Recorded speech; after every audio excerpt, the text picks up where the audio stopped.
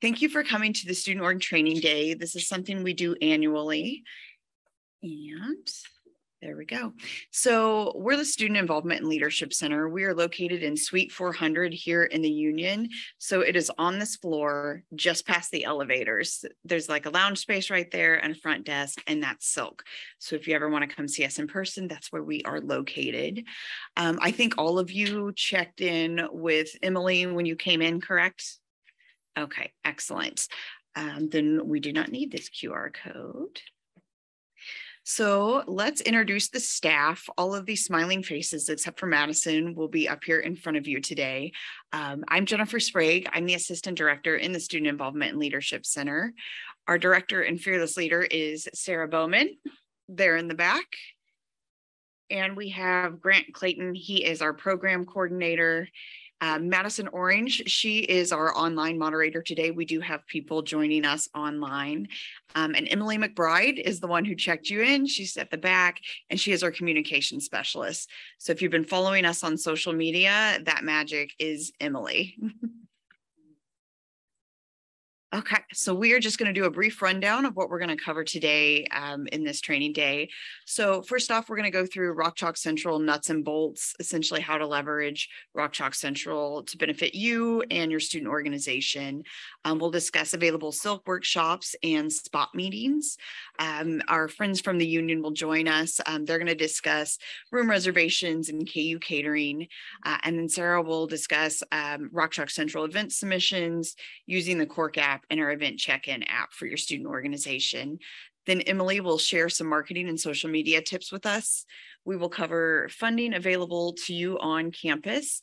Um, and then we will close it out with any questions and a brief survey. And while you're taking the survey, we will randomly select attendees, both in person and online, for our KU giveaways that we have in the back.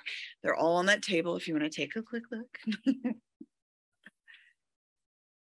Okay, so I will go ahead and turn it over to Grant Clayton, our program coordinator, and he's going to discuss Rock Chalk Central nuts and bolts.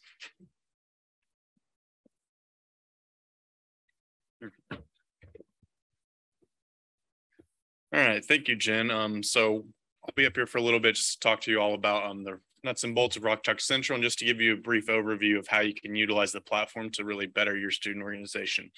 So um, we'll go ahead and go over a little bit about Rock Chalk Central, um, some of the key features such as managing your roster, using messaging, um, running forms on there, and also conducting your elections. Then we'll discuss some of the workshops that we have available for you to use for your student organization to help train your leaders. Um, and then we'll go over our spot consultations, which is our group of student leaders that you can meet with for various things. So first we'll go over Rock Chalk Central Management. So this is what the home screen of Rock Chalk Central is going to look like every time that you log in. Over on the left-hand side, you'll be able to see all the different organizations that you have, as well as the tools that you can use to manage them.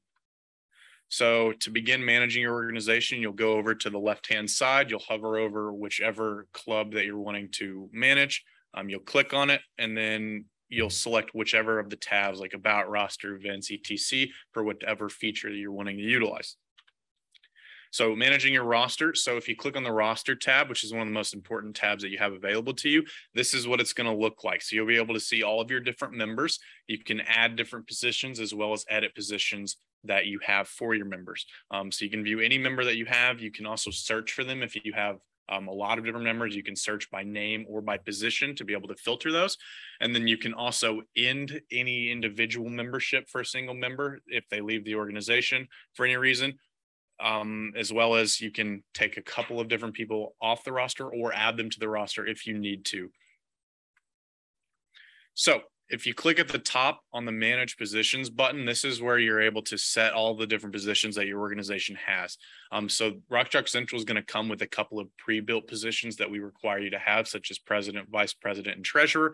But you have the ability to go in and customize different positions for your organization based on what they need. Um, so you just click the add position button at the top and then over here you can access every different position you have if you click on each individual position you can go in and you can customize what features that position has to access your page. So let's say you wanted um, someone to be able to look at your roster and look at your forms, but you didn't want them to have access to your elections or whatnot, you can click on one of their on these positions and you can go in there and you can turn off those permissions so that they only have access to specific things if they hold that position. Um, so on here, um, at the top, there's a button that says invite people. So if you're wanting to invite members to join your organization, you'll click invite and it'll take you to this big box that's over on the right hand side of the screen. Um, from there, you can enter up to 500 different email addresses to add up to 500 people at a time to your organization when you're adding people to your organization, it's important to use their alphanumeric emails, such as it's got a letter, three numbers, letter, three numbers. If you don't add them that way, it will not correctly add them to Rock Chalk Central and they won't be able to access your features. Um, so anytime you do that, that's how you want to put it in. You can add up to one email address per line. Um, and you'll just keep hitting enter until you add whoever you want to add, and then you'll just click at the bottom, add addresses, and it'll invite those people to your organization. If you click on the pending tab, such as what shows on the left-hand side of the screen, that'll show you all the invitations that you've sent to people that are still waiting to be accepted. Um, so you can see here, there's two different people that were invited to this organization. Um, well, it looks like one with two email addresses, but it'll also show the date that they were invited so you can keep track of that. If you click on the perspective tab, that's going to show any member that's requested to join. Um, one of the good things about Rock Chalk Central, our students have the ability to see all the organizations that we have on our campus, and they can click on them and view your description, your summary, and what you're about, and then they can request to join that organization if they find it interesting. If you look at the perspective tab and it has a red number over it, that means you have someone who's requested to join your organization. You can then go and approve or deny them to join your organization, or you can click on their name and it'll show you their email and you can shoot them an email and let them know more, or you can discuss um, how to get involved with the organization. All right, so next we'll talk about messaging. So messaging is a great feature that you have access to via Rock Chalk Central. Um, so from this tab, you can send messages to your organization. You can send it to all members or just specific members of your organization, as well as you can send it to all um, position holders in your organization, or you can select certain positions to get those messages as well. Um, these also send as a relay. So what that means is that it's actually going to give you an email address and you'll type up your email in Outlook and you'll send it to that email. And then from there, it's going to email all the people that um, are filtered underneath these different categories. Um, so on here, um, if you go to the roster page at the top, you'll see the messaging button. So that's what you'll click and it's going to take you to the message relay screen. And from there at the top, you'll click that blue plus button and then you can go ahead and begin your messaging. Um, so on here, it's going to ask you to give a title. So that title is going to be the subject of your email. So you want to make sure that that says um, exactly what you would want to show up in the subject line. And then you can select different position holders that you'd like to send it to. Um, there's also a select all if you want to send it to all different positions from your organization. And then on the right hand side of that, instead of doing position holders, you can do it specific members. So you could just click, I want to send it to all members, or you can click, I just want to send it to a couple of different people. And then once you've done that, um, you'll go to the bottom and then you'll be able to go ahead with that. Yes um, you go to the roster tab and then it'll be at the top of the roster. And you click you click the messaging button that's at the top of that roster tab and then you click the blue plus button and it'll get you to this page.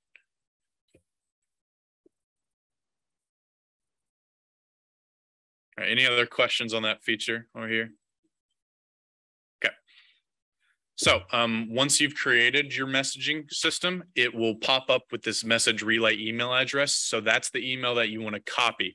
So you'll copy that, then you go to Outlook, you'll type your entire message in Outlook, and then you'll send it to that email. And then from there, um, once it's received at that email address, it's going to automatically do what's called a forward. It's going to forward it to all those different emails you had, and it's going to relay that message to them. So you don't have to type in all those email addresses individually. So next we'll go over forms. So forms is a great feature you have access to um, through Rock Chalk Central. So on forms, you can design um, and customize different forms for your members to complete, depending on whatever you need to do.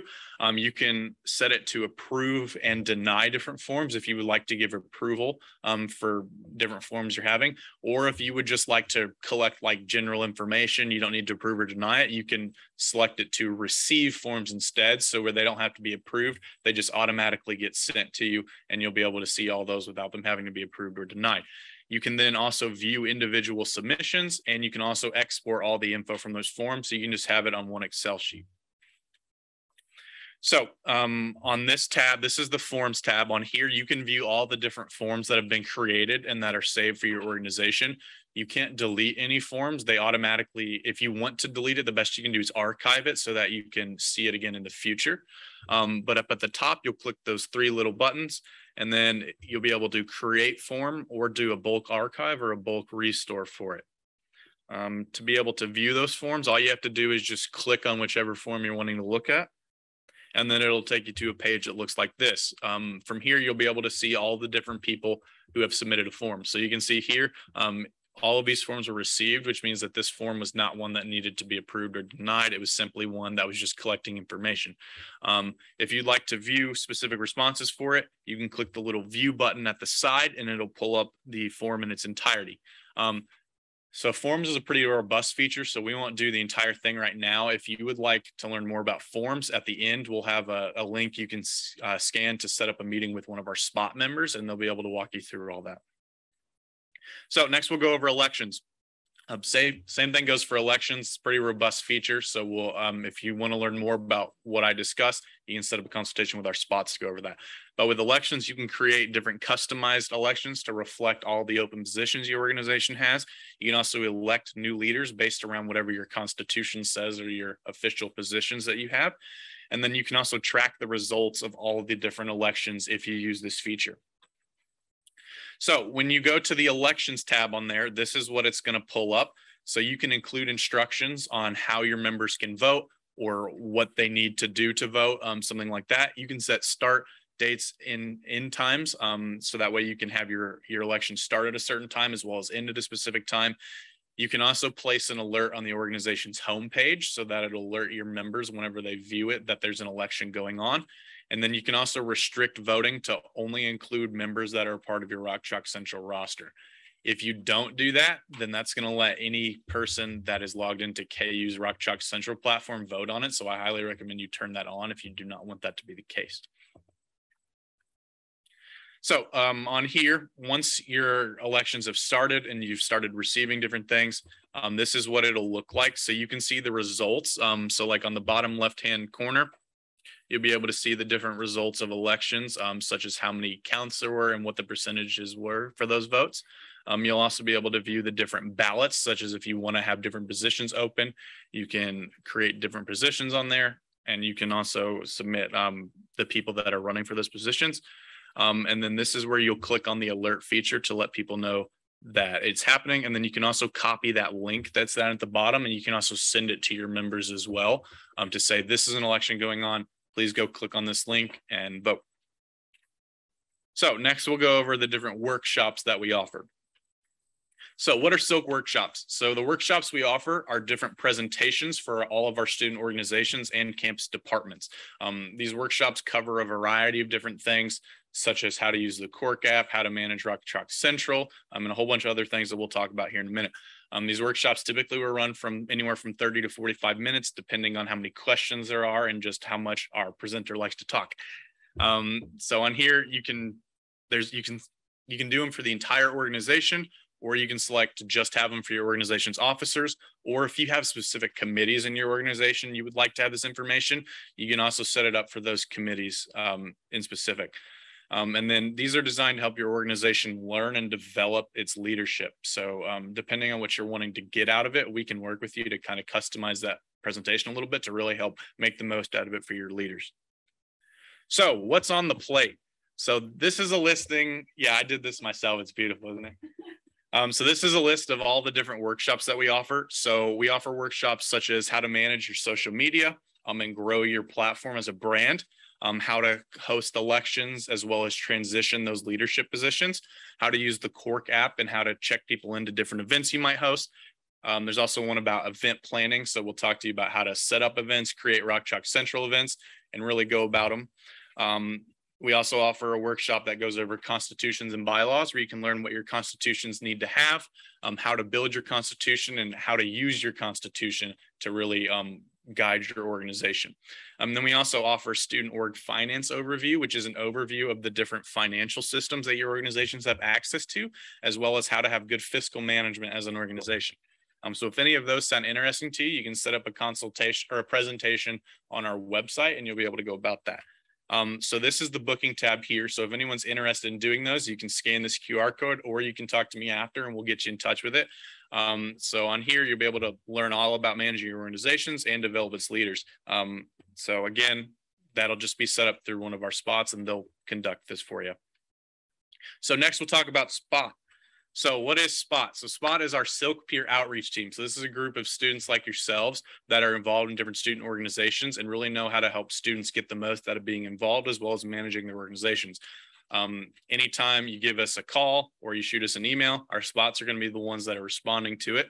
Um, they also help manage Rock Chalk Central. So, like if you're submitting registration for your organizations, our spots are most likely going to be the ones reviewing that. And then they also help students get involved. Um, so, we offer one on one consultations, and our spots are the ones that host those.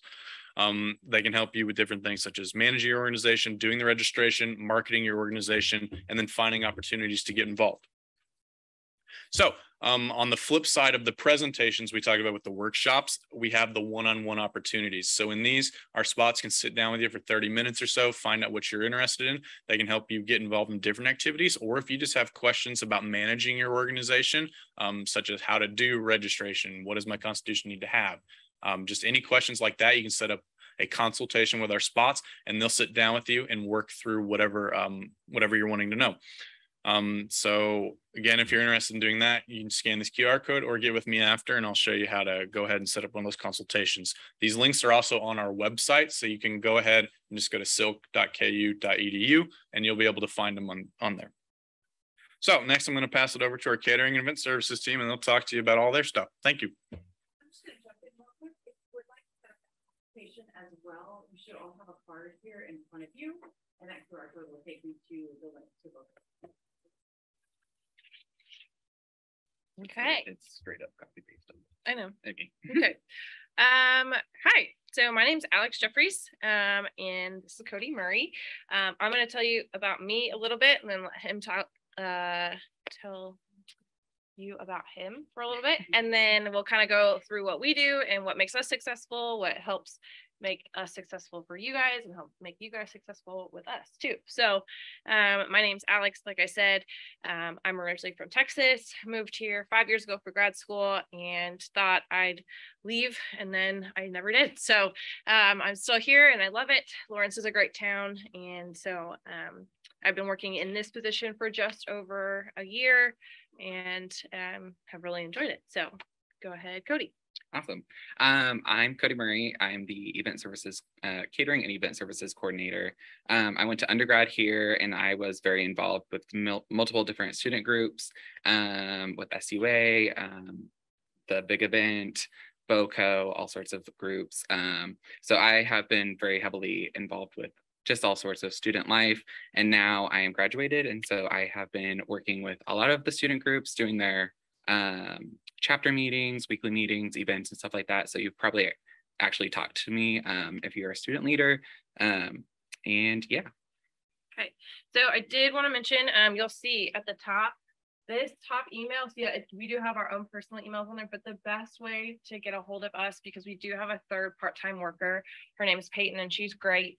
Um, if you want to contact us, the best way to get a hold of us is going to be that event services at ku.edu. Um, you can also try calling that phone number. We're, we're unfortunately pretty hard to get a hold of via phone just because we're not always sitting at our desk. So um, if you want to shoot us an email, um, we're going to show you on the next slide exactly what to include in that email. If you need anything, um, room reservations or catering, um, that way you guys have that information. But that's the easiest way to get a hold of us at this time. Um, we are hopefully opening up some online portals for you guys um, to be able to use to go in and um, just submit requests directly into our reservation system. Um, we're still working out some of the kinks with that, so it's not available yet, but um, we will make sure to let um, all, all the folks in the SILC office know so that they can blast that out to y'all too and let you know when that's available. So uh, next slide. Okay, so this list looks really boring but this is exactly what we need. So if you send us an email or a request and you are asking for an event, if you don't have all of these details, we will likely stop you and then re-ask you all of these questions. So that's why we are sharing it with you now. Um, don't feel like you need to write this down. We have them on paper. So I'll leave some of these for you. We can also just email these to you if you can't remember them.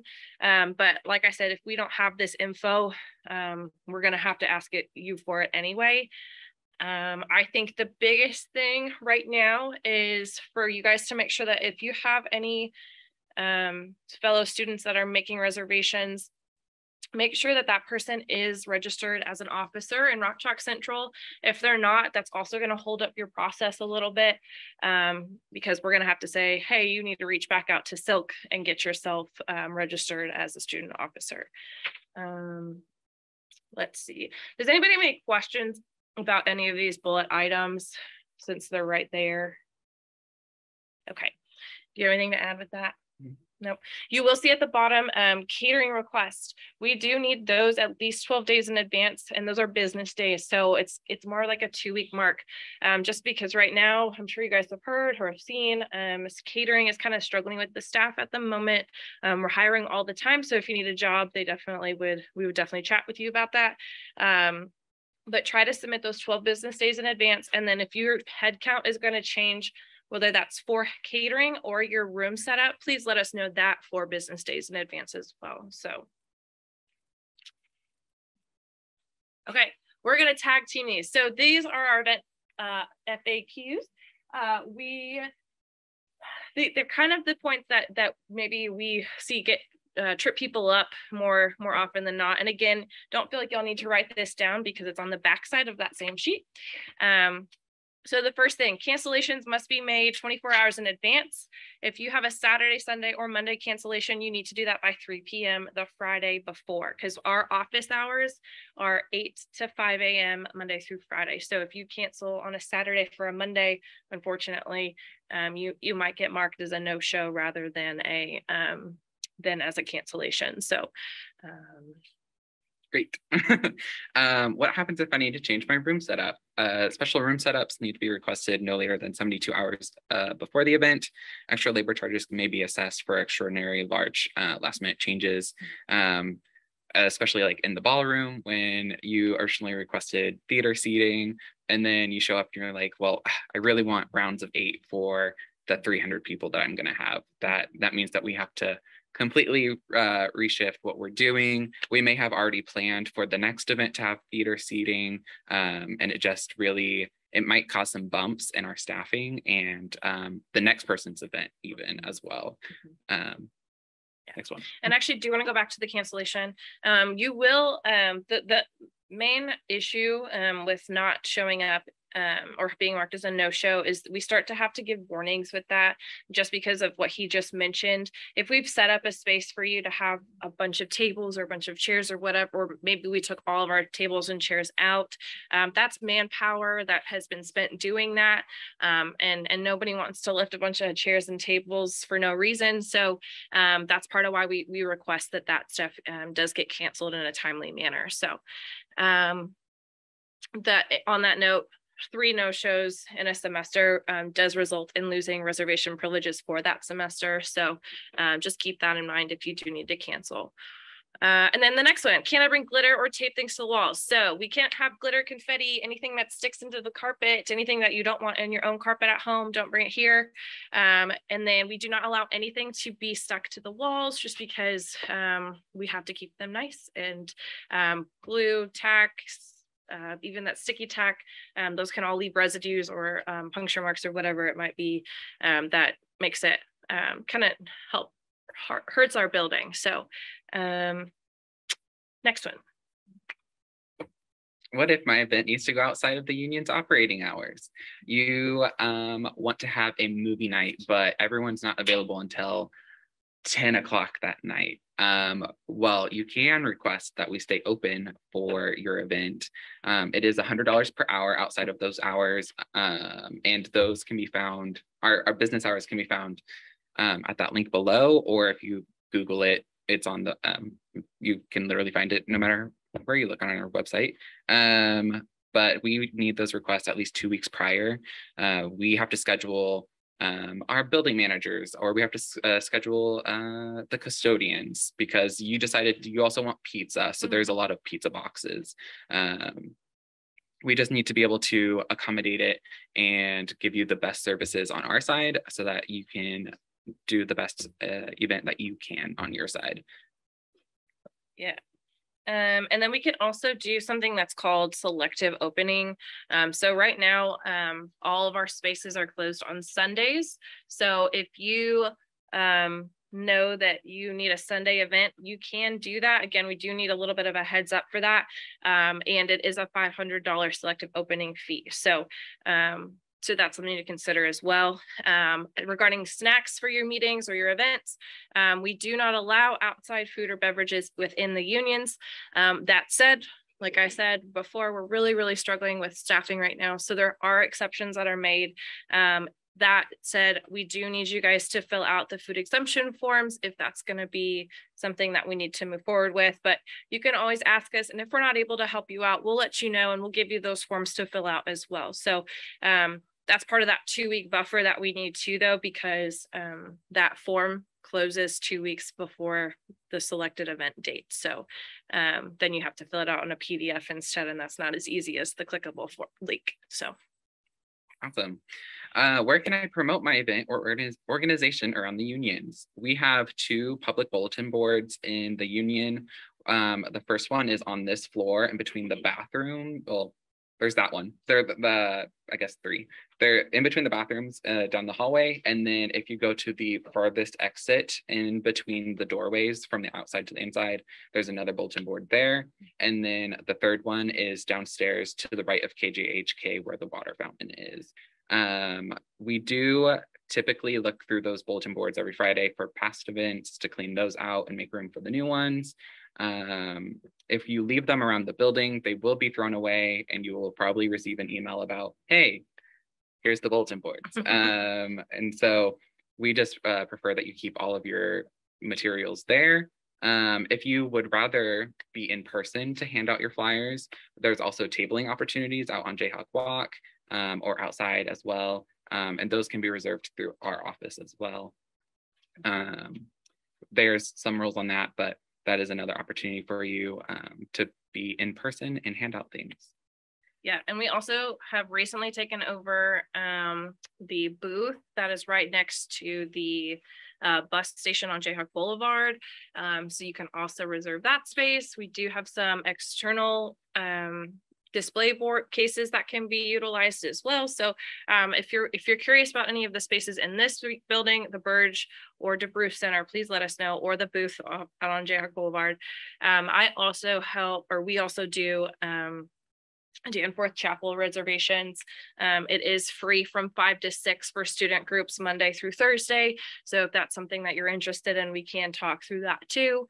Um, but yeah, basically we are here to help you guys have really cool events. Um, if you're not sure what kind of setup that you need, or you're not sure uh, maybe what makes sense in what space, you can always um, come hop on our calendars or shoot us an email and we'd be happy to meet or just chat with you and get those things worked out. So uh, any questions? us? Yes, Um, so for catering, um.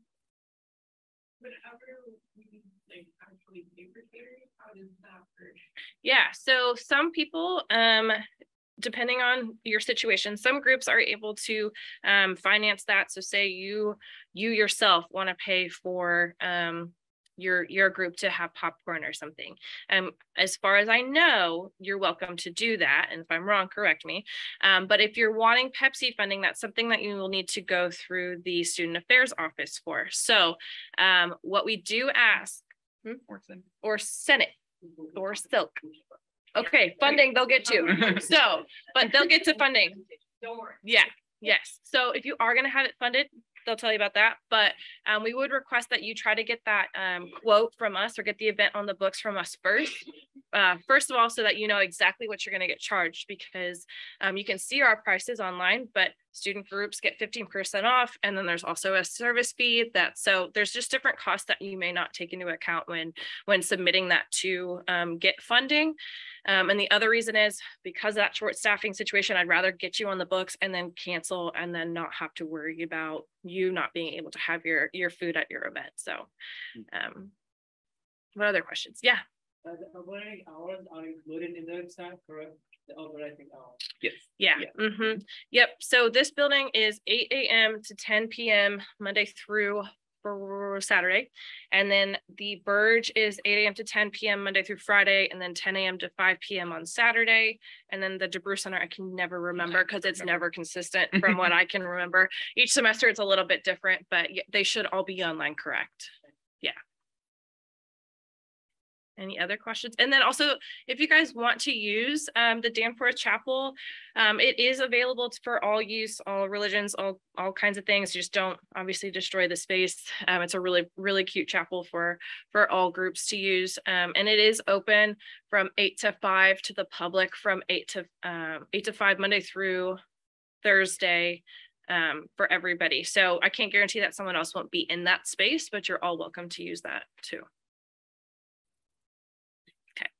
Um, if there aren't any more questions, I will leave a stack of these sheets, which have basically everything that we already talked about um, on them. So um, hopefully that helps with everything and we appreciate it. Anything? Okay. And do you care if I just leave these like here or where do you want me to put them? Back? Okay, perfect. Thank- you. Thank you, Alex. Thank you, Cody. Okay. Hi, everybody. So uh, as was announced at the beginning, I'm Sarah Bowman. I'm the director of the Student Involvement Leadership Center, and I apologize, I have a cold. So please bear with me. It has been a week. So uh, we're gonna try and get through this. Um, so I'm gonna talk to you about uh, what happens after you've got your student organization all set up and, and everything configured on Rock Chalk Central, just like you want it. Your roster is all ready to go. You've been building some forms, taking some polls with your group. You met with uh, events, uh, the events team, and you've made some reservations and you've got some plans for some events. Well, now how do you advertise it? How do you get the word out? How do you keep track of who attends your event? I'm going to show you that part. Okay. And just as a reminder, uh, there are still snacks and drinks in the back. Please help yourself as we go. Uh, definitely want this to be as enjoyable as possible, also informative at the same time. Right. So, all right. Who can create events on Rock Chalk Central?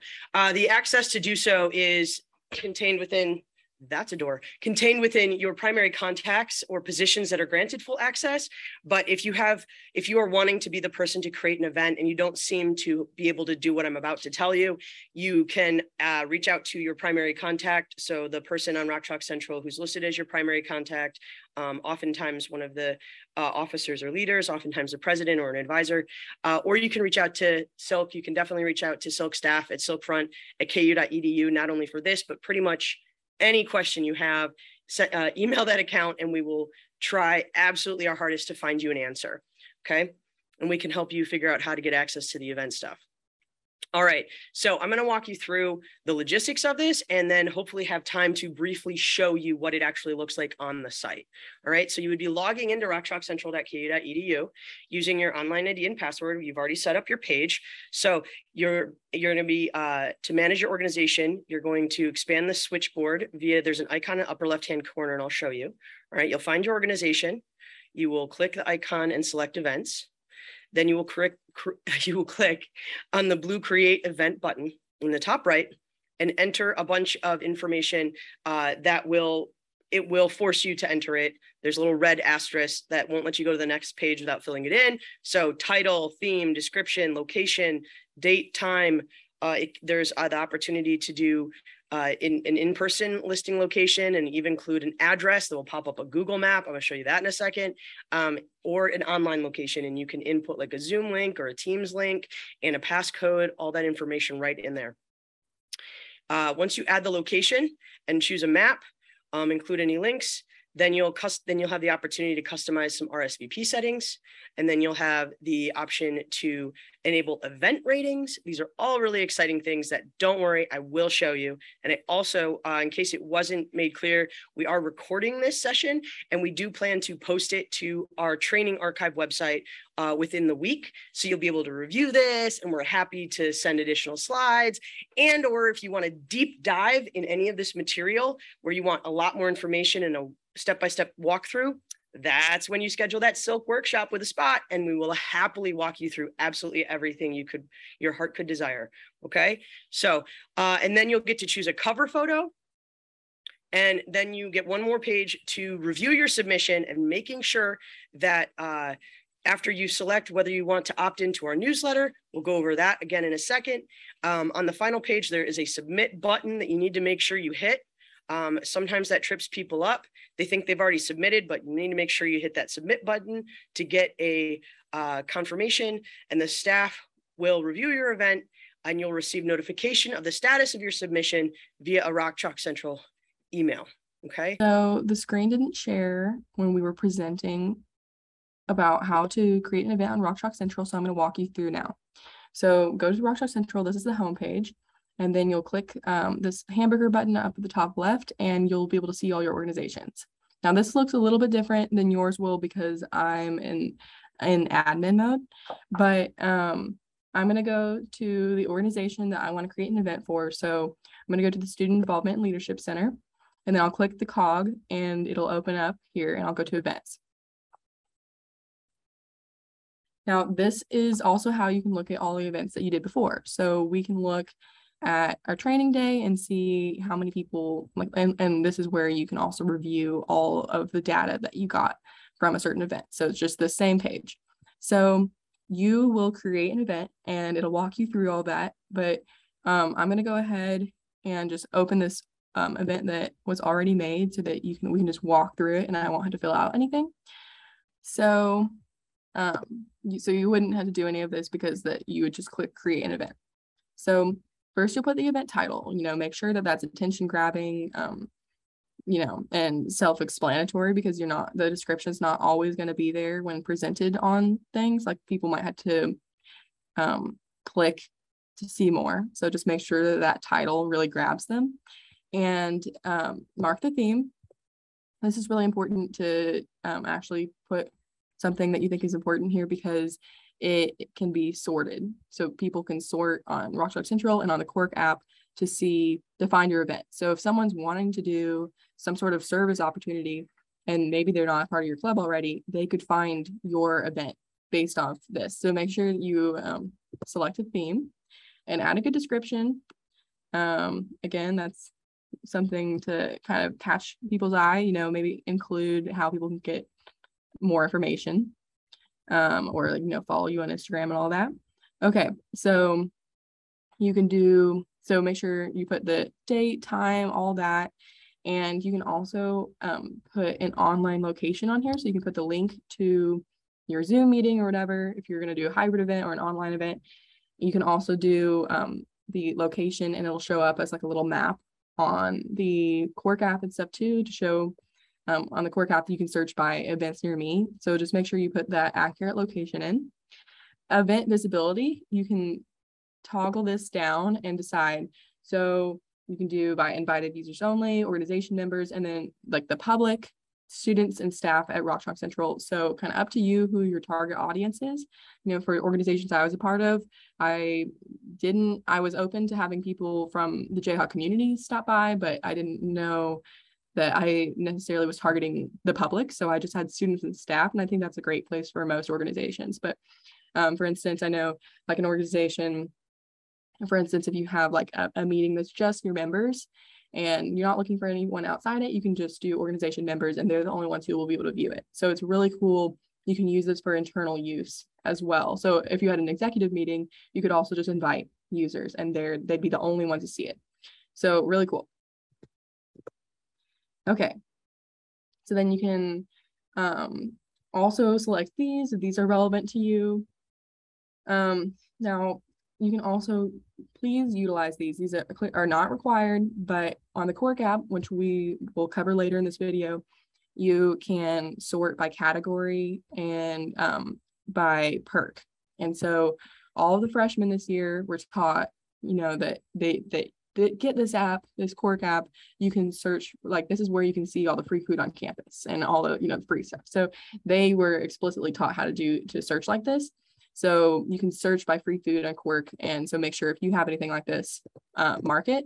But also the categories, um, again, you know, it's not, don't worry if you don't have free stuff. It's all good. People can still sort by category and it can still be effective. So make sure you mark these. So, you know, if you have um, something like leadership development, then that might be something that someone's going to search for. So, um, and then attend. So make sure you mark that. Okay. So um, this is not anything that you need to fill out, but it can be a really useful tool. You can choose who can RSVP. Um, so those are the options. And you can also limit, you know, the number of people who can attend. But what's really cool is that you can have these questions that people get beforehand. So if anyone RSVPs, they'll be automatically sent an email with the questions that you can create. So you could utilize this by, you know, for instance, if you wanted to have food, then you could ask them, you know, to submit any sort of dietary restrictions or, um, you know, if they if you wanted them to vote on the food that was going to be there or something like that, you could get their input before the meeting. So it's a really useful feature. But again, you can skip this page if you don't think this is relevant to you. You can just leave those settings as is.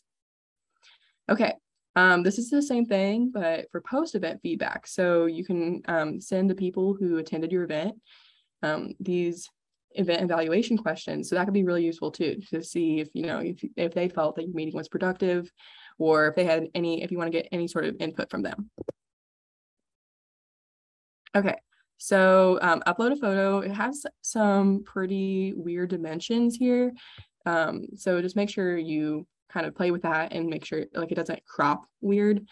Um, just be aware that like Rock Chalk Central is kind of weird about that cropping um make like this photo is what's going to be um, advertised, like what they can see on CORQ and what they can see on, immediately on Rock Chalk Central. So make sure that this has all the important information. Um, you know, the name of your club, the um, event, time, place, location, or that's place and location. Um, but you know and uh, all just all that important stuff the date that's the word i was looking for so just make sure to have all that on there um and but make at the same time don't make it too busy so um i recommend that you use canva for this which i will go into detail later about how to use that but it's just it, it just makes your cover photo just ridiculously easy it's not going to be um an obstacle for you at, at all okay so now this is not going to show up for you. This is because I'm in admin mode. So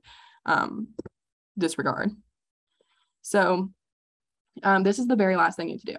So it talks about the newsletter, and I will go into more detail about this, but you can choose if you'd like to be featured in our newsletter. And all you have to do to do this, to just get this extra promotion for your club and your event, is click yes and then upload the file. Like, because, you know, like I said, the um, cover photo on Rock Chalk Central has weird cropping. So you can, if there's like a cuter version or like that you prefer the size of, you can just upload that file right here and I'll put it in the newsletter. So it's super cool. Um, and make sure that you create your event at least a week prior if you want to be in the newsletter. So um, because I send it out every Wednesday. So um, Wednesday morning. So just make sure that, you know, it's best to I would just even submit stuff, um, you know, two weeks in advance. I mean, that's, you know, but at, le- at least one week so that you can make sure to get in. Okay. And then it'll have you review everything. And um, then it will not say this. This is because I'm in admin mode. And then click submit. That's one of the biggest things here um, people will get to the screen and it just kind of seems like you're done, but you have to make sure to click submit and then you'll be done. So that is how you create an event on Rock Chalk Central. As long as your event is in Rock Chalk Central, it will automatically show up in the CORQ app. So uh, because you are all here, I imagine that you downloaded the CORQ app and you got your event pass. Okay. So feel free to follow along here. If you want to like open your CORQ app, if you haven't played with it before and you want to look at it while I'm talking about it, please feel free to do so. I want you to get as comfortable with it as you possibly can. Um, we're really trying to make sure students know about this awesome resource that everybody can download for free. Right. So uh, the CORQ app, right? We're going to go over the app. I'm going to show you how to use it in conjunction with the event check-in app if you would like to. All right. Again, event checking app, it's an attendance tracking app. If it's not of use to you, it's not of use to you. Don't even need to worry about it. So this is where I'd be like, hey, if you haven't downloaded it, please download that one. And if you want to play with the event check-in app, you'll want to download that one. Okay. But again, we can do this after the presentation if you would like. Happy to stick around and show you some more. All right. So you downloaded the app, you pick a campus, you pick KU, you set you select sign in use your single sign on right? Just like you do with rock chalk central. And then you're in the main menu. Um, and you're going to see that uh, it has events and your event pass as you all know which you can also ps save to your wallet in apple or uh, i believe google play also has that option. Um, you can search for student organizations. You click on organizations you'll see the same page that is in rock chalk central. So you can find all the student orgs right in the palm of your hand just like uh, on Rock Chalk Central. And you can scroll through them. You can click on them. You'll see the same information. Okay. Um, you'll see the, you can filter um, by categories uh, for the orgs. They're listed alphabetically. You can search them. Okay. So that's a really great way to, to look for orgs. Um, and you can even join right there in the app. Like if a new student wants to request to join an org, they can do that right there in the app. Um, they can find more information about the org, all sorts of stuff. Then we go back to events in the main menu. Okay. You can filter your events. You can filter them by things you've already RSVP'd to, my events, campus events, nearby events by location. Okay. So that's going to be, uh, if you, you know, scrolling through there, you're going to see all the stuff. These are all, everything is up from Rock Chalk Central. So if you get your event in Rock Chalk Central, it's showing up on here. Okay. And please know that all the new and incoming students this year, they were they were trained on this okay? So this is you want some new members you want new folks to join your group you're definitely going to want to get your events on rock chalk central and uh, so they'll show up in the CORQ app because this is where we're training new and incoming students to look for things okay? You can also select filters right? And there's that free food again okay? Very fun filter free stuff you know i'm sure if your org's got things to give away you want students to know okay uh, if you have RSVP'd to an event, either on Rock, Rock Central or in the CORQ app, on the My tab, it'll show up. So like you can go through, you know, several weeks of events and be like, oh, I like this. I'm gonna RS, I'm gonna go to that thing. I'm gonna go to that thing. I'm gonna go to that thing. And you've RSVP'd, and then you can just go to your My tab and be like, where am I supposed to be today? Oh, I'm supposed to be at this event at five. I'd better hurry up. And you can click on the event. All right. Um, it'll also uh, you can do nearby. And you can actually see a map. Uh, so that can you can you believe you can drill down on it. So it does get it does get closer than just that like giant view right there. Okay. All right. So as we were talking about with the organization pages just to give you a little more information on that um, right in there when you click on an organization page you can contact the org right there in the app. Um, it'll send a message to the primary contact of that org and hopefully that student will respond. Um, and so you can see you can fill that out and what you're interested in talking about. Right for an event, if you click on any of those individual events, um, you can, uh, you know, add it to your calendar, which is pretty sweet, right? An RSVP right there, awesome, which then also adds it to your My Event page. Okay. If there's an online location, the link is there, description, all that information. Um, scroll down, there can be hyperlinks to stuff. All the co hosted organizations are listed down there. Okay. And if you were to add it to your calendar, it would like show up if in if you're using an iPhone, for example, um, like this to just, you know, pop it up and then do you want to add it? Add it. That easy. Okay. Questions so far? Yeah.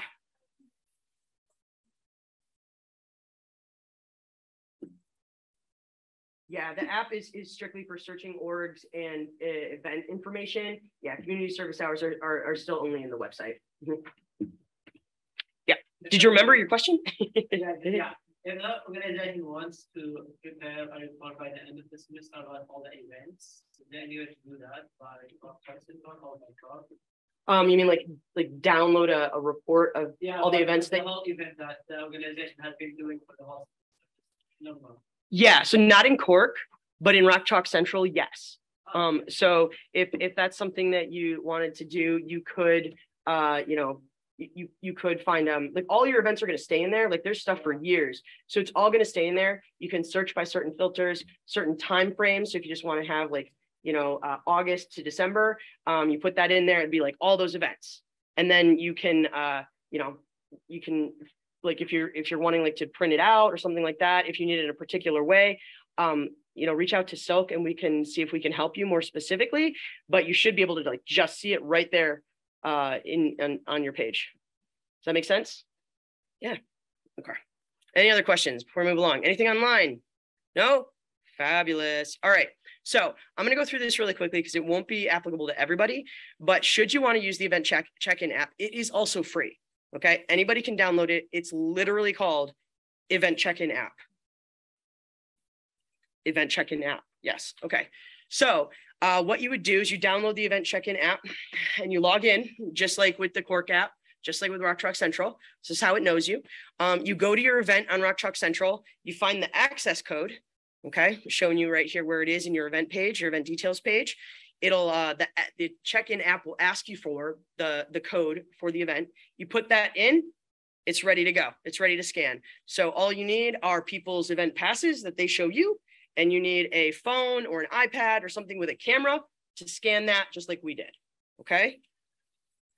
Right? So again you open it you put you you put in the event code you log in. It'll say is this the event? You'd be like yep. Start scanning and um, then you can scan people's QR code uh, and it will show the person will pop up, their name will pop up. Um, and it'll say if they if you had an RSVP set up and you wanted them to RSVP, it'll say whether they did or not. They'll say no or yes. Um, if they were particularly invited, it'll say that. But then you can just click done, check them in, good to go. Right. So if somebody did not have a pass, so you may have seen down here, if it opens up, no pass, no problem. So let's say they forgot their phone, they broke their phone that day, and this is already like the worst thing ever. So now you've asked them for their phone and they're 10 times more miserable. Be like, no worries, it's no worries. We're gonna we're gonna figure this out. I'm so sorry you lost your phone. That's a whole other thing, but we can still get you checked into this event. Okay. So no pass, no problem. Uh, just ask for their uh, single sign-on um, email and you plug it right in there, validate, they will pop up. Okay, they'll pop up, you'll check them in manually, no big deal. A little more time consuming, but not a problem, not a problem. And there you have it.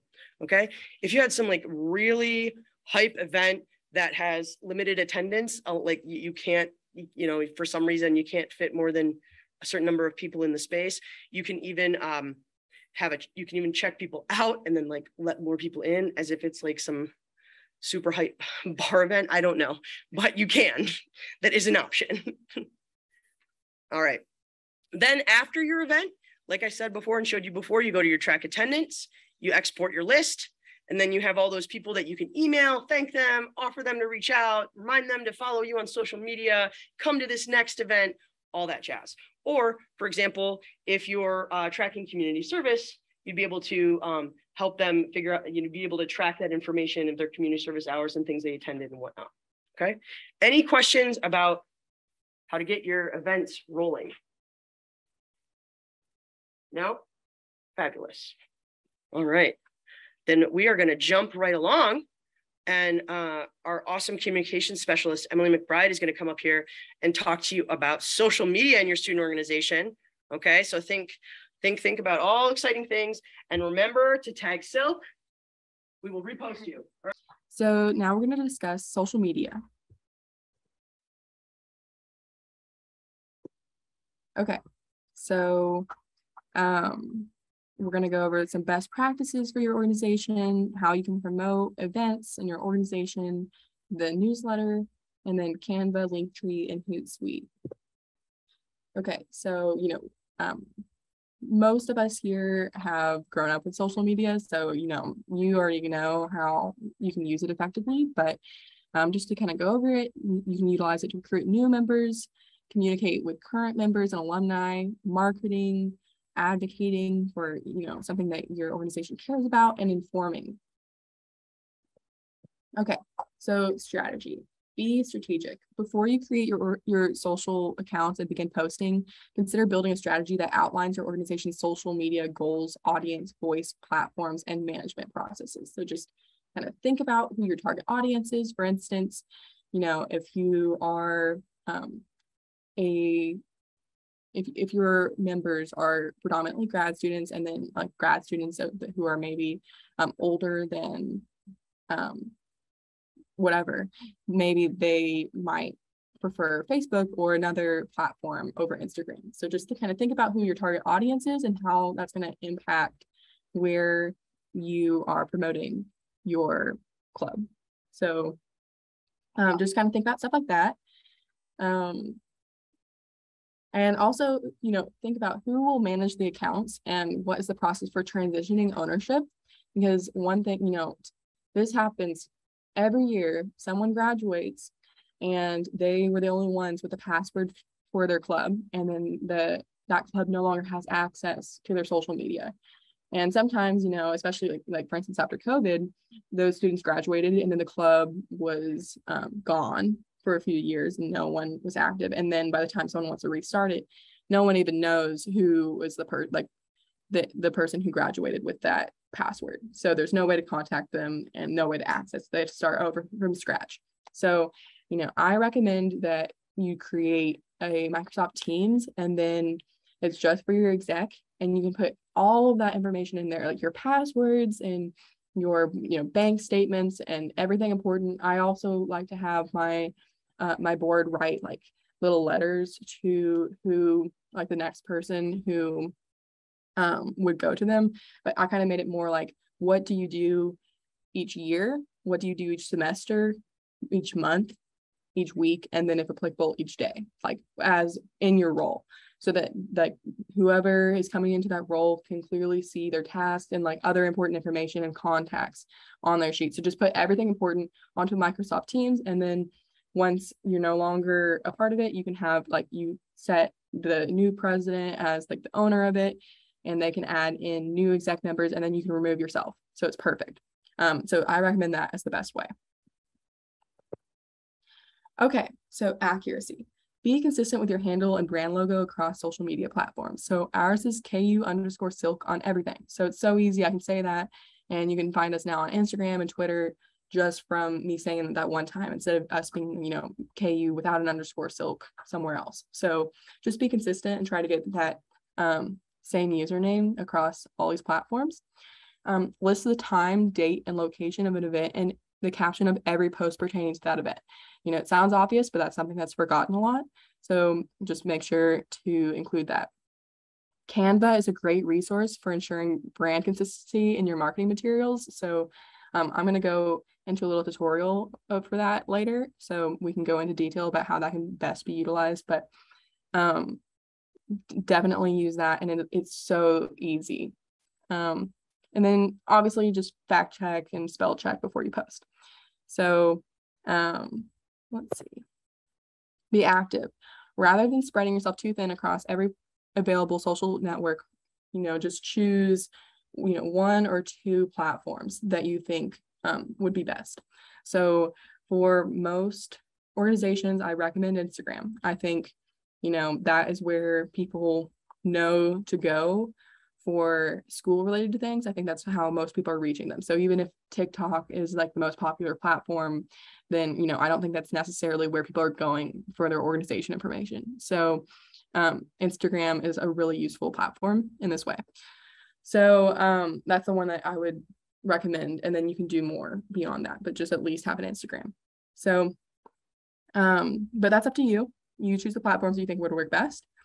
Um, there's also things like hootsuite which um, can schedule content. So if you you know because you should probably post you know at least once a week so that people know that your account is active and they stay engaged. So if that's something that your social media person doesn't or you might not even have a social media person so you just don't have time for that like especially maybe you had to post on a wednesday and that's the day that you have your exam so if you use hootsuite and i can show you that as well it's um, you can just put that in maybe you're not busy on sunday that's the sunday before so you can go ahead and make the post on hootsuite and it will automatically post it for you Wednesday at whatever time that you need. So super cool. Last but not least, make sure to use calls to action on every post. So post with a purpose. Um, so if if there's a post where you're trying to get people to go to your event, tell them to go to your event. If there's, you know, maybe that's not the the most upcoming thing, then you know, send them to um, say like, you know, stay tuned for more or you know, leave a comment about this or um, go to our link tree to fill out this form, you know, just just give them a reason um, for that post each time. So if you're posting a picture of after your event, so the event already happened, and then um, just give them like tell them the the next thing, like make sure you stop by like you know like like we had a great event last night. Uh, make sure you stop by next Tuesday or whatever, and then obviously give the date and all that information. Um, okay interaction. So schedule posts for peak activity times among students. Um, so that could vary. You can think about, especially if you have members that are um, in a certain demographic that you know that they're they're going to be busy at certain times. For instance, like if you had uh, if your group is like political leaning or um, advocacy, then you might have some overlap with people who are in student senate and student senate is you know like wednesday nights or something. So maybe if that if you urgently need them to see something on your story you know that that's not going to be a good time to post. So just think about that um, and take that into consideration. Um, tag people and utilize stories to encourage engagement. So tag the students in your pictures tag organizations that are relevant to you, tag organizations that aren't relevant to you, tag departments, uh, whatever you think. Um, it's really cool. Offices will often support you too. And definitely if you tag us, I'm going to repost you every time. So at KU underscore silc, I'm going to repost you to our stories on Instagram when you tag. So that's like one way because we can put that out to all of our followers. So it's really cool. Um, but make sure that you foster a relationship with these organizations when you're tagging them. You know don't just tag them when you need them. Also go and like their post comment on their post if they're you know whatever and share their things especially if you have similar audiences. So that i, I know that um, the finance clubs there's finance club and women in finance are really good about this. They um, hype each other up but also like they hype up like this SILC account for some reason on every post and so it's so cool and um, definitely fosters a great relationship with like between them but other clubs too like i, I know women in finance was hyping up um, the graduate geology association last year so there's probably not too much crossover there but it's really it's really cool that they do that um, and i think you know that that helps spread the word for other clubs and and boosts them so just make sure you do that and um, you know do the same to, to us if you want. But i mean either way we're going to support you because that's what we're here for. So just mm, uh, make sure to utilize that. Um, but also make sure to be responsive. So you know with social media and kind of this post pandemic change you know this is one of the ways that students are getting connected to organizations. This is what the like the way basically is online so just kind of know that that like some the only way they're getting this information is here. So um, respond to comments, you know, be fast about it if you can. Uh, respond to DMs. You know, that's one thing I set our profile to like there's like a, a special button where it just automatically like says um, that you know message us or something like that and or contact us and so i that i've found that I talk to more organizations now than I, than we did before because people feel more comfortable just DMing in a casual setting instead of email. So just know that more students might reach out for interest now through DM and DMs. So definitely regularly check that. Okay. So as soon as you post your event, then it's going to automatically appear. Well, no, we had to approve it. but then it's going to appear on Rock Chalk Central and on the CORQ app. So it's super cool um, because, you know, this is just another place that people can find your events.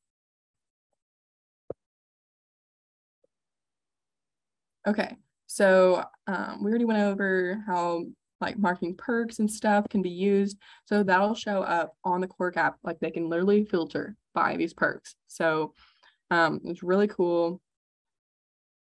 Um, let's see. And so just make sure you utilize that feature.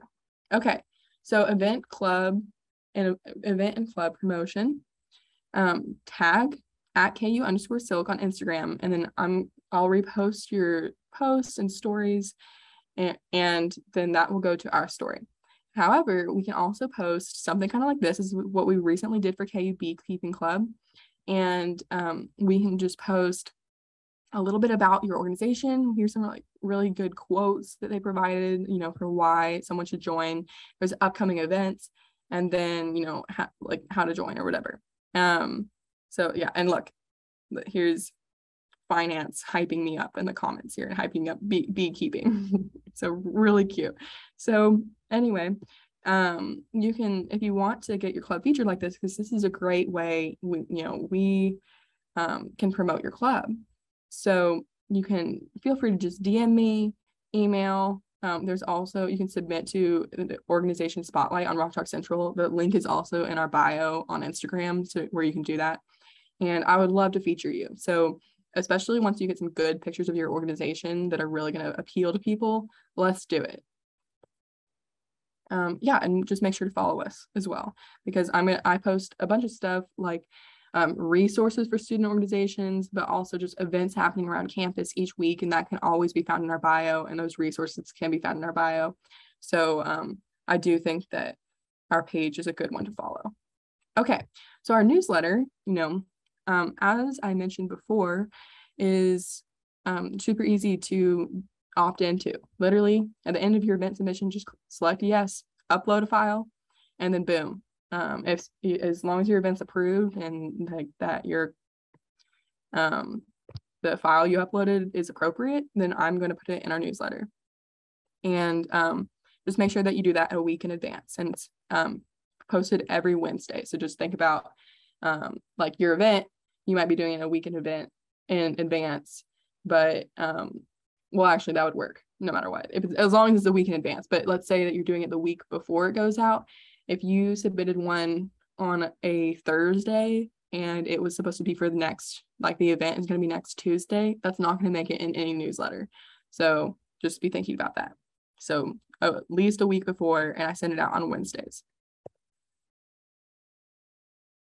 Oopsies. Okay, so hello. Let's go to Canva. Okay, so um, this is Canva. We do have the pro version, but I use the free version for my organizations and it's like phenomenal. Like, it, I mean, they don't even realize how much they could potentially charge here because their free version is spectacular. So um, don't hesitate to use it. Like you can see this little crown here kind of marks stuff that is um, the premium version. So uh, most of it is not. Okay, so it's you can choose what you can design. So if you wanted, if there's certain things that you can look up, feel free to do that. But we can just go to social media here. So then I can go, they have some different options here that they suggest, but I already know that I want to post on Instagram. And then let's say I want to do a story. So then, oops, just kidding. Let's do, okay. Um, so th- it'll show you some different options for, and you can like see all. So here are just some templates that you can start with. So they're super cute and um, easy to change for your organization. So you can just choose one you think is cute.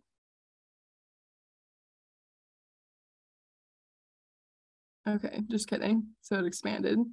Okay, so you can like scroll around and see more options.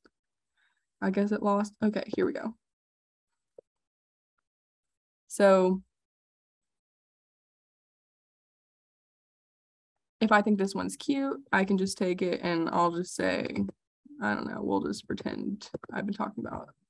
Oh, wait. Okay. I've been talking about finance, so we'll do a finance one. So.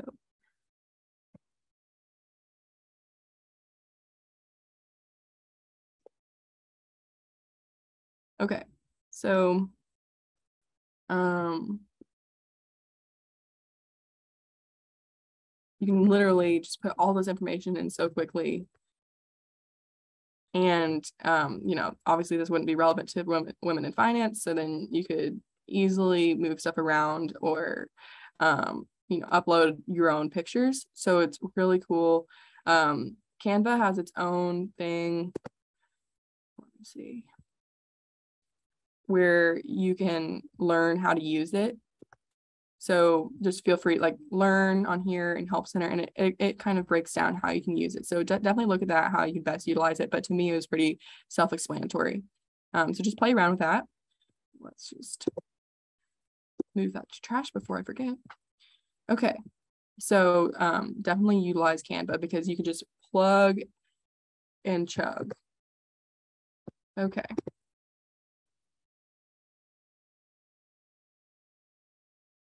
Okay, well, I guess we're not. We're not gonna go back to full screen, I guess. Okay, so that was that. Um, now Linktree. Let this is such a cool thing. So Linktree is basically like it, you can easily create your own little website thing that's just, I mean, a website is like too big of a word, but it's just a page that has all of your links right in one.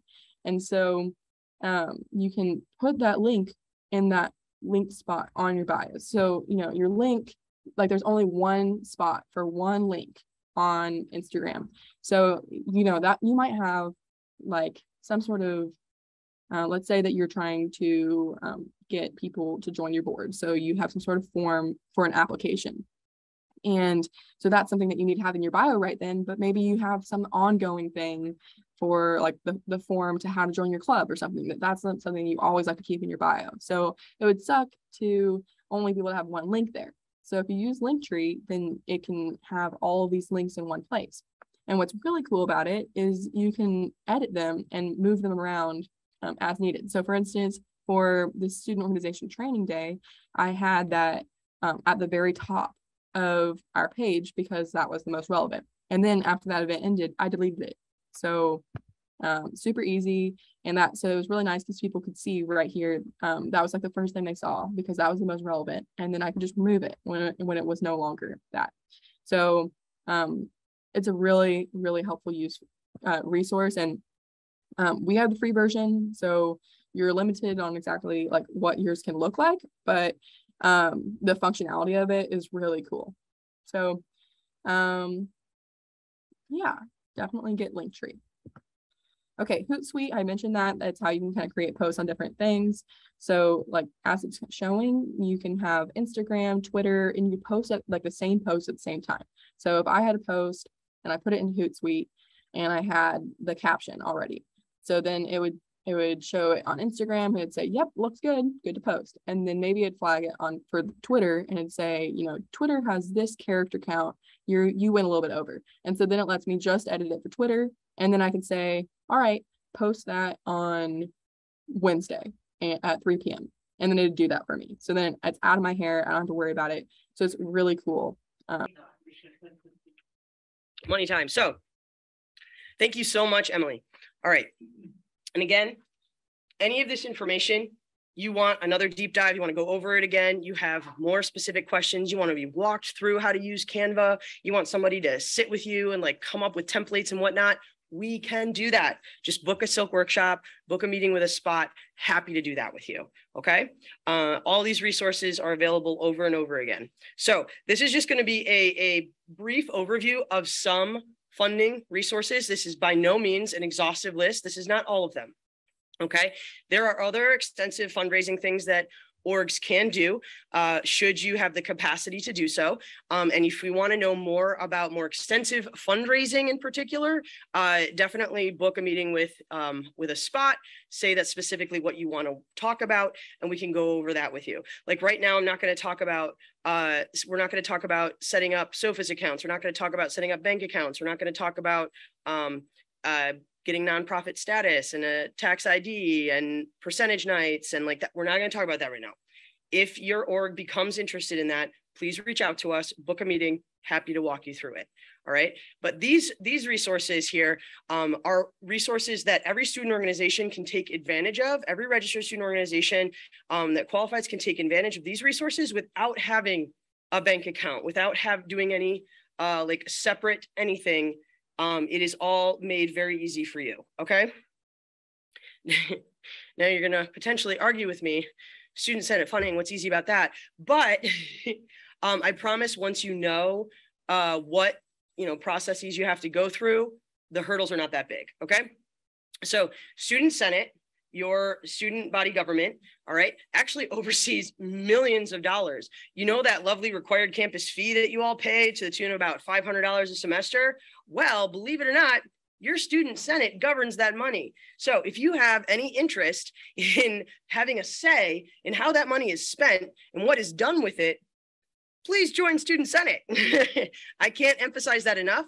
There are lots of empty seats. Anybody interested can participate in student government okay and you can have a say in how all of that money uh, somewhere over 23 million dollars a, uh, a year is is allocated okay this is a it's a very big deal please consider joining as part of that uh, a fun, uh, portion of that funds goes directly to student senate to distribute to student organizations okay in the form of the most common forms are wednesday night um, general funding, which is their unallocated account that they give out on a biweekly basis at their full student assembly meetings. Okay.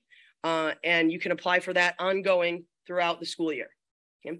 Then there's also the DEI fund, diversity, equity, and inclusion. So that's going to be uh, for events and orgs that are focused on a diversity, multicultural uh, focus. Okay. Um, potentially like an affinity group, that kind of thing. All right. You can request specific funding uh, that has slightly different stipulations. And again, we can go over that more in detail should you get to that point. And then there's line, DEI line, very similar, just with that DEI focus. Okay. Line, block, and EOF, and there's some other smaller ones in there. Okay. Those are going to be for orgs that are planning stuff over a year in advance. Okay. So there, there are uh, almost 500 student organizations on campus some have been around for a really long time. And as they have institutionalized and gotten better and better administratively of transitioning and keeping track of things, they uh, host the same event or plan the same things year in, year out, year in, year out. Think, um, for example, SUA is the big event. Anybody familiar with that? SUA is the big event, maybe some nods, maybe. Okay, that event happens year in, year out, year in, year out. So they can go to Senate a year in advance and have a budget already outlined and say, can we have the money uh, pre-allocated for next year for this particular event? And then uh, it goes through a, a, vetting process. It is overseen by Senate and you can become a part of if you'd like to. Um, and they can be granted that money so that the next year, when the year starts, on the school year starts, they can just go to Senate and be like, okay, we already you already gave us that money. Um, we're ready to go. Here's the things we want to buy. So you don't even have to like, you know, don't don't pass go. Don't you just keep going. You just jumpstart right into it. Okay, so, but that again is for orgs that are able to plan that far in advance. So if any of that is, sounds like you and your group, again, book a, a meeting with a spot and we can go over that, okay? So uh, these are just some pieces of information that if you go to these websites, this will be helpful to you. If you want to see the breakdown of all of the different fees uh, and all of the different uh, funding streams from Student Senate that you like what what is this particular fund? Who can apply for that? What is it for? If you want to know all those details you can go to the fee oversight page and it'll detail all the different funding sources and you can read about what each one is if you would like to right? Um, so and to apply for funding you can visit the Student Senate website and uh, under their funding and there's an apply page. Um, or you can simply email the Student Senate treasurer at this email address right here. And you can ask them, hey, this is my org. Um, we're registered for the year. We have this event that we want to put on, and we could really use some money. Can you help us figure out how to apply for uh, Senate funding to cover the costs? Okay. Now, Senate does have restrictions on what the money can and cannot be used for. So it's going to be very important for you to potentially review that in advance on their website, or this treasurer is likely to send you that link um, of lengthy things that you can and cannot do with their money. But a brief overview guidelines generally um, your organization or at the very minimum, the event must be open to all KU students in order to receive funding from Student Senate. Okay, your organization needs to be registered with the Student Involvement and Leadership Center, SILC, um, and you it needs to have no academic standards or membership dues um, uh, pertaining to the event. Um, and then uh, it's important to note, I think, that all qualified organizations that meet those that threshold can request $100 every year to spend on uh, ex- expenses. I say approved, that just means like within Senate rules. Um, you, you, without question, you can just like ask, hey, I want my hundred dollars, and they just have like a pre-form bill that they submit, and it'll take a couple weeks to go through. Um, but you can just ask for your hundred dollars, uh, and then you can use it on anything that that they allow for spending. You don't have to pre-establish what event it's for uh, or anything like that. The idea is that that is that hundred dollars is available to any org. Um, it's typically used for office supplies, printing costs, um, advertising, that kind of thing. Okay. Uh, but I encourage every student organization at the bare minimum, you don't know what you're going to do, at least reach out to the treasurer and initiate your request of your $100. So, how Senate funding works, you're going to want to plan to request it more than four weeks out because it is a slow process. Okay. So first you got to get in touch with them. Then you got to tell them what they you want, find out what you can get. They have to make the bill. Then they have to submit it to two councils. It has to be approved by two councils one week. Then it goes to the full student assembly the next week. And if that's approved, then we can finally start working toward getting you your money. But um, if your event is happening before we can get to that stretch all the way through, you're not going to get the money because the event has to be happening after all of this process has to go through. So that's why I advise at least four weeks in advance. Okay. More if you can. All right. So you're not stressed about it. Okay. Um, and if you, uh, again, you, like I said, you're going to want to review the funding rules to determine eligible expenses. Um, and uh, you can certainly email Student Senate with any questions, or again, request a SILC workshop to go over any Senate funding specifics. Okay. Um, is there are a lot of details that we're not going to cover right now. Uh, so I encourage you to uh, peruse their website. They have been, it's not completely updated, but they have been working actively on updating a lot of it. So a lot of this information, including funding guidelines are on there. Um, and there's a very long list of things that can and cannot be funded. Okay. So uh, for, uh, for example, travel, there are like a, a couple of exceptions carved out. Um, uh, for a couple of groups, but otherwise travel is not covered for as an example. So there are, are things like that. You know, there's specific restrictions on food. There's even a fun little restriction on like the promo giveaway items. They don't necessarily really want to fund that for you. And they base that off of um, anything that's less than $50 that can walk out of a room. They don't fund, like it literally says that. So um, there are some funny things like that. So if you want more details, read it or ask. So I apologize. I do need to cough. I'm okay, keeping it up here. Okay. So any questions about that Senate stuff there? Yeah. I just like to, to what you said now. I've been involved since 2017. I encourage you, as someone said, to apply and get involved with the Senate, it's only for research, and you get, you know, all the information that you need. In addition, we're gonna boost your resume at the end of your education. awesome. Thank you for the promo and the shout out. Appreciate it. Um, really encourage you all to get involved in that or, uh, you know, tell other people about it. I feel like, you know, not enough students know where their money goes and that you can actually be involved in the process of determining how it gets allocated. Because it's the student senate councils and the full assembly who review each request for funding and determine whether or not to give it to an org. Okay so you can also be not only the org asking for money but you can be on the other side of the table determining uh, what money an org gets. Um, you can put if you don't like if you don't like the rules you don't like the funding rules get involved in senate and you might be able to help change them. Okay so uh, i really encourage you all to do that. All right now we're going to briefly talk about endowment funding. Okay, so um, it lives in a little mysterious land called endowment on the west side of campus. But there's a particular program called Launch KU. And so I'm going to start this little vid- video. But Endowment has initiated a program um, that's been going for a few years now that is basically crowdfunding. As, is anybody unfamiliar with crowdfunding? Right? Okay. So, uh, for example, a lot of people will create a website where they ask, like, I'm getting um, this surgery or I'm having this event. Does anybody want to support it? You can donate to me and my event. Or let's say you're running a race for cancer or something like that. Does anybody want to donate to my participation in a race? Um, put, pooling uh, people's donations together, that's crowdfunding right? So it's a very popular thing these days. There's lots of crowdfunding all over the place. People asking money for XYZ things. You can crowdfund startups. You can crowdfund, yeah, um, you know, philanthropic ventures. Uh, you can crowdfund your own surgery. So many things.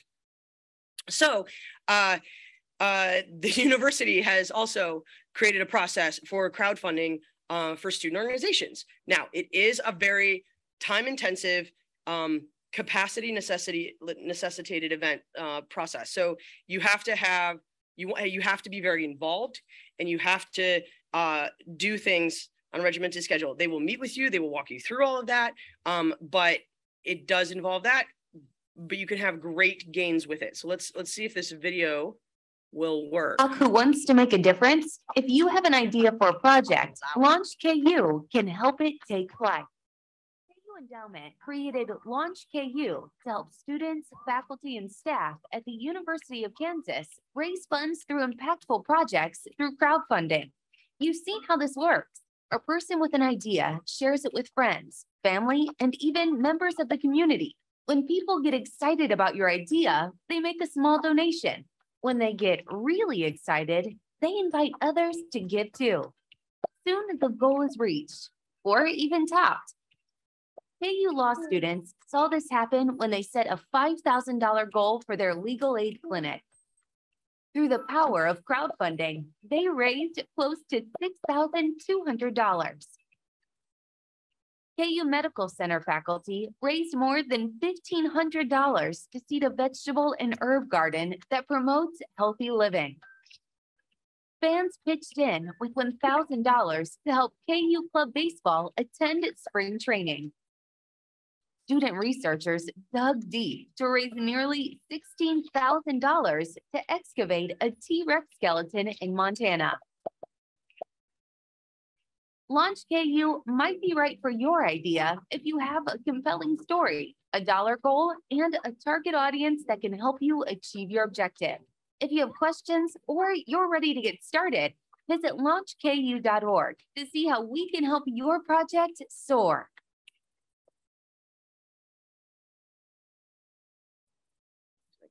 Are you a Jayhawk? No, there we go.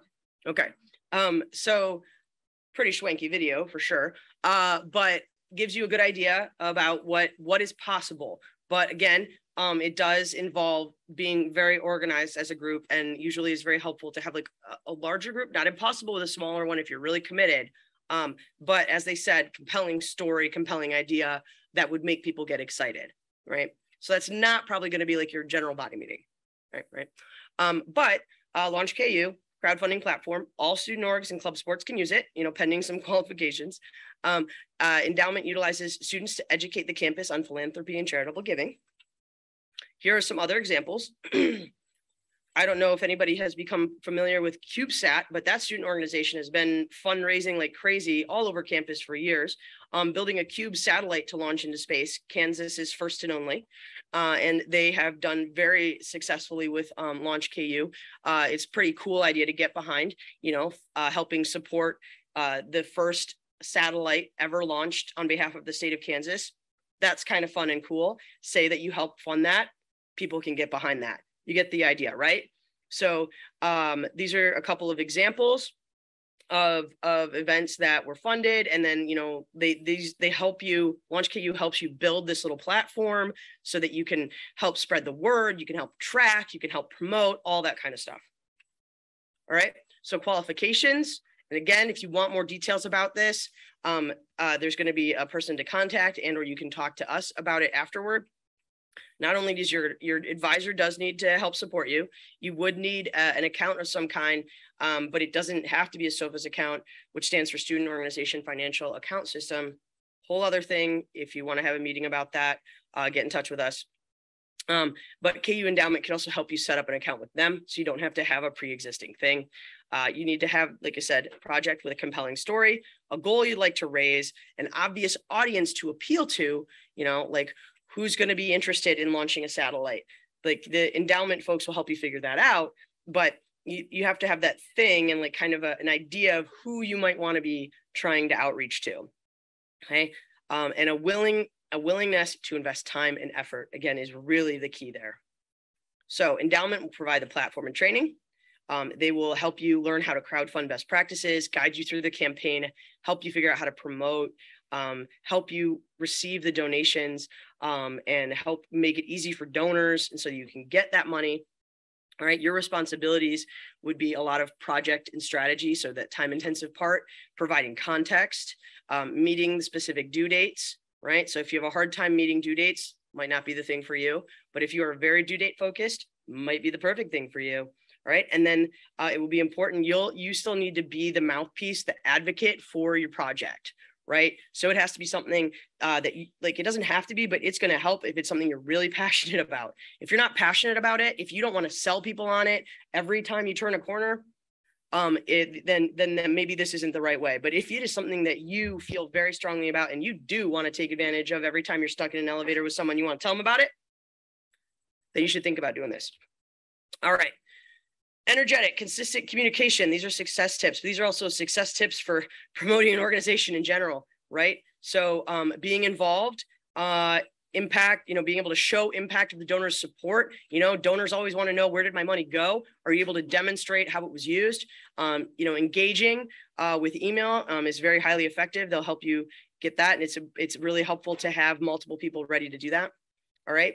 Um, giveaways and perks. It's okay to give away experiences, invitations, project updates, gratitude. Not okay to give away tangible items of monetary value. That would go against the whole concept of donation because then it would just be selling something and that's not the same. So uh, I hope that is understandable. All right, so some deadlines should this be of interest to you. Um, if you want to get in on the, the, the fall crowdfunding um, uh, cycle, you want to apply before September 23rd. So just a couple of weeks here, and you'd be crowdfunding for this fall semester. If you want to do it in the spring, it'd be applying by March 3rd to get in on that cycle. To apply, you go to uh, kuendowment.org slash launch KU application, or you are welcome to reach out to the contact who oversees the program, uh, Brenna, right there, uh, contact information. And you can also reach out to us later uh, if you missed this slide and this information and we can get it to you. All right, any questions? No? All right, so now we're gonna jump into Pepsi product and Pepsi funding. Hang in there. I know it's been a long presentation, but we are here at the end. Um, so I'm going to tell you a little bit about Pepsi product and funding that is available to your student organization here on campus. Um, so because we are a Pepsi campus, we have a partnership with them and they donate money and products for use of student organizations and university departments. Sorry, figure this out here. Okay, so how do you apply for product or funding? Uh, so Pepsi, this Pepsi program lives within the SILC office. So you can just go to the SILC website. Um, I put the web address up there at top, um, but really silc.ku.edu, you can find it easily on our main menu. These are screen grabs of what you're going to see once you click on the Pepsi programs. Um, they are detailing the requirements to receive product or funding, how you would apply, um, what the evaluation criteria is, um, and for Pepsi funding meeting information. And to apply for either one of them, you will just click one of those blue buttons and it's going to take you to a form on Rock Chalk Central because both of those applications are living on Rock Chalk Central. Okay, so we'll do brief rundown of Pepsi product. So it's exactly what it says it is. It provides Pepsi beverages for your events. Like we have the Aquafina water and pop in the back. Those were supplied by Pepsi product. Uh, I do request that uh, your application be submitted, submitted, wow, sorry, submitted at least 10 days prior, and that is business days, uh, because the union has to order the product. They do not keep it on hand. So it's really important you adhere to that deadline. Um, product is awarded based on the expected attendance for your events. And the really cool thing about the product program is that you can apply for all your events in a semester. Um, we do not necessarily cap how many events you can be awarded product for. Um, and once approved or denied, you will receive an email from Pepsi at ku.edu. That's going to be me. Hi. um, but you can also email any questions to Pepsi at ku.edu and I will get those. So moving on to funding, again, it's exactly what it says it is. It provides monetary support for your events. Uh, these requests I ask that they be submitted three weeks prior to your event. Like right now, we're not very busy, so we could actually shorten that time frame. You could go ahead and apply for funding. But as we get in through the semester and especially into the spring semester, we get really, really booked up. So even that three weeks might be too short of a time frame. So if you know you're going to be doing an event in the spring and want to request Pepsi funding, do it sooner rather than later. Um, I would say January sometime would be great. The form for spring semester will be open then. Uh, how this differs from product is that we do award funding to only one event per a semester. So if you're looking for funding for just a meeting that you're having, you can do that and we will award funding like if you were to get KU catering. Uh, but if you have a bigger event that semester and also want funding for that, since you already received it, we would not okay that. Um, there is documentation that is required for payments. Uh, Pepsi Fund just pays um, like any speakers or KU Catering or Jayhawk Ink. directly. Um, so we just require a few different things to process that payment. We'll let you know at the time that money is awarded, and of course, at any point throughout the process. So what can you use funds for? I know we touched on it a little bit, like speaker fees, guest fees. Um, you can do catering or food. That does have to go through KU catering, or you have to get that food exemption approved to use an outside vendor. Um, and, and they do offer food exemptions. Um, I know that some of our student organizations they host events. Um, they need a certain type of food that KU Catering doesn't offer. So they will just say, yes, granted. Um, that does take a review time as well. So just be mindful of that because if you come to the Pepsi meeting, we're going to say, hey, did you get the food exemption approved? We will also pay for printing through Jayhawk Ink. Um, and other expenses that come up for campus programs. And we typically evaluate those on a case by case basis.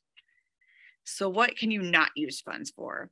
So events are student groups that are not open to all students on campus, events that charge for student attendance, events serving alcohol, um, events in which students will receive academic credit. Um, we do not pay for travel or con um, conference registration or gifts or prizes that you are looking to give out.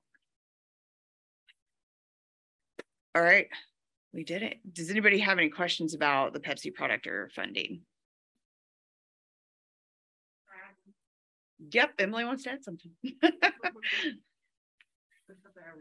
okay. Just real quick for the newsletter, that goes out every Wednesday morning.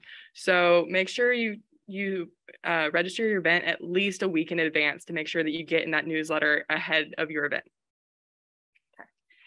All right. Um, I see some of you busted out your phone. If everybody would do that, um, we are going to set up to randomly select recipients of some of the KU swag that we have in the back.